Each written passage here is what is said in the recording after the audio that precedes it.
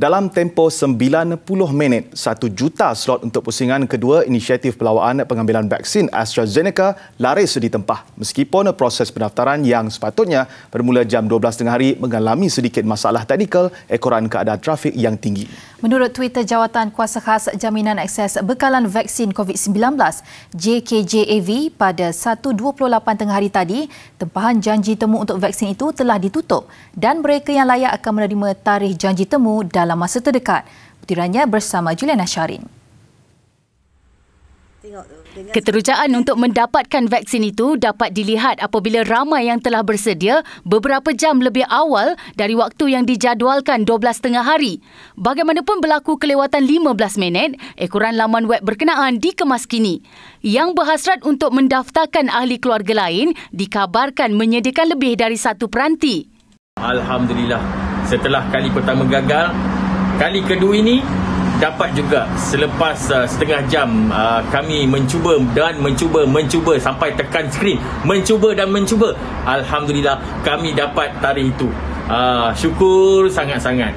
Kerana kami memang nak sangat vaksin itu.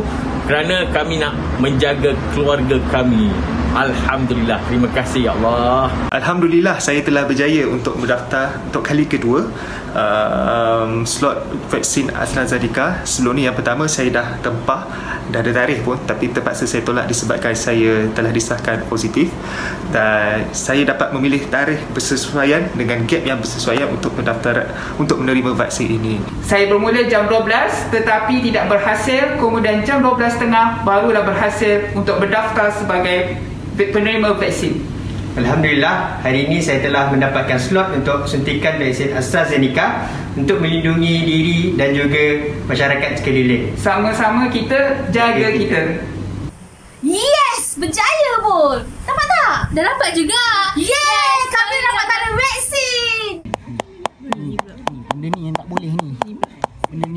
Lain pula ceritanya mereka yang gagal mendaftar. Ramai yang mengadu tersangkut di bahagian pemilihan negeri untuk lokasi pusat pemberian vaksin. Yang berjaya melepasinya, malang sekali semua tarikh telah penuh. Ada juga yang berkali-kali perlu mengakui dirinya bukan robot. Malah ada yang kecewa hingga mempersoalkan kebolehan sistem berkenaan. Tempahan vaksin AstraZeneca itu dibuka untuk penduduk di Johor, Kuala Lumpur, Pulau Pinang, Sarawak dan Selangor yang berumur 18 tahun ke atas. Sebelum itu, bermula 23 Mei lalu, slot tempahan dibuka untuk golongan warga emas berusia lebih 60 tahun.